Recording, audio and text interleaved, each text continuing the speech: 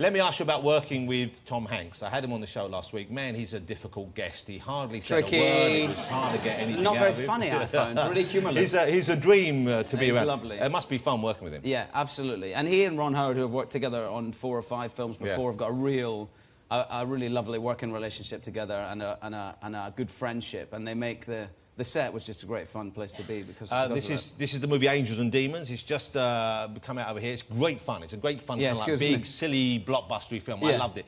Um, but you play uh, now you play a Catholic priest. Yes. but not. Uh, you, but you're an Irish Catholic priest. Yeah. In Italy. Yeah.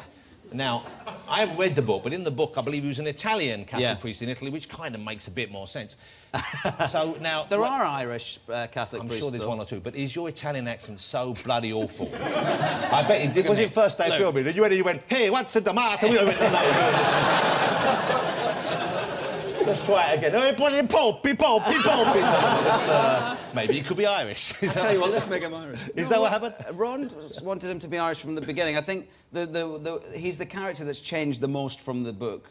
And, um, and I think it was to tidy up his backstory, and they made him um, uh, an orphan. That he got orphaned in, in Italy and was, was adopted by the, the, a cardinal who became the Pope. Well, it makes it. I mean, it kind of makes the film work. The fact he's what happened to him in the past. It makes some sense Right. of it. So I can see why they why they did that. Yeah. Uh, but you weren't filming. You didn't film that much of your stuff No. in Italy. Is that right? None of it. Well, no, I did film it well, a couple of days in a place called Caserta, and I'd been shooting in uh, I'd been shooting a film uh, in Louisiana at the time, and my family had come over and they'd spent a, a couple of uh, uh, two weeks with me, and then I had to go over to Rome to, uh, to Caserta to start filming Angels and Demons, and. Um, I said to my wife that sounded like a lovely place, Caserta. In fact, they told me that they shot some of the stuff from Star Wars in there, and there's a palace.